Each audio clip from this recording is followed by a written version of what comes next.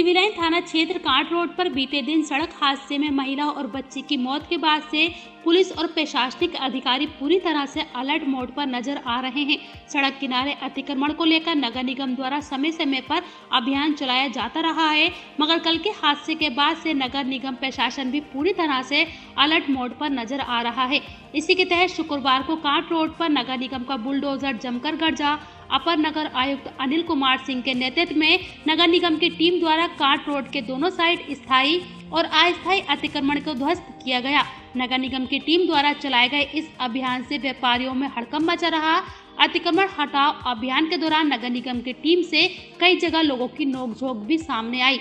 अभियान के विषय में जानकारी देते हुए अपर नगर आयुक्त अनिल कुमार सिंह ने बताया कि अतिक्रमण की समस्या ऐसी समस्या है जिस पर निरंतर अंकुश लगाने की आवश्यकता है। उसी कड़ी में आज पीलीकोटी चौराहे से पीएससी तरह होते हुए काट रोड पर अतिक्रमण हटाने का अभियान चलाया जा रहा है। सड़क के दोनों साइड जितने भी स्थायी और अस्थायी अतिक्रमण कर रखे हैं, उनको हटाया जा रहा है। उनके सामान की जब्तीकरण की जा रही है, पेनल्टी लगाई जा रही है और ध्वस्तीकरण की कार्यवाही की जा रही है। इससे पहले कल चेतावनी भी दी गई थी कि अतिक्रमण न करें, जिससे जन सामान्य को चलने में असुविधा हो, दुर्घटना हो, कल भी दुर्घटना हुई है। दुर्भाग्यपूर्ण है कि इस दुर्घटना में बहुत नुकसान हुआ जान माल का। उसको रोकने के लिए जितना हम कर पा रहे हैं, कर रहे हैं। पब्लिक से अपील है कि अपने सामान को अंदर रखें सड़क या पटरी पर घेर कर न रखें जिससे लोगों को असुविधा ना हो। यह अभियान जन सामान्य की सुविधा के लिए यातायात की व्यवस्था को सुगम बनाने के क्रम में चलाया जा रहा है। अभी काम ऐसा हुआ नहीं है ना काम हो तो जाता फिर दोबारा नहीं पूछोगे? बस एक बार करके भेजिए कहाँ से कहाँ तक किया जाएगा और अभी तक कहाँ तक हो चुका है।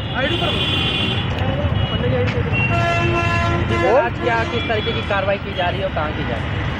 देखिए अतिक्रमण की समस्या ऐसी समस्या है जिस पर निरंतर अंकुश लगाने की आवश्यकता होती है। उसी कड़ी में आज हमने पीडी कोटी चौराहे से और पीएससी तिराया होते हुए कांट रोड तक जाने का हमारा अभियान है। इसमें सड़क के दोनों जितने भी स्थायी और अस्थायी अतिक्रमण कर रखे उनको हटाया जाएगा।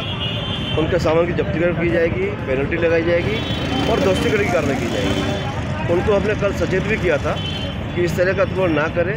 जिससे जन सामान्य को चलने में असुविधा हो दुर्घटना हो कल भी एक दुर्घटना हुई है।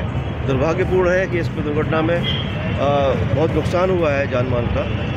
तो हम उसको रोकने के लिए जितना हम कर पा रहे हैं और इफेक्टिवली उसको कर पा रहे हैं हमारा पब्लिक से भी अपील है कि अपने सामान को अंदर रखें बाहर को सड़क या पटरी को घेर के ना रखें जिससे उनको असुविधा ना हो।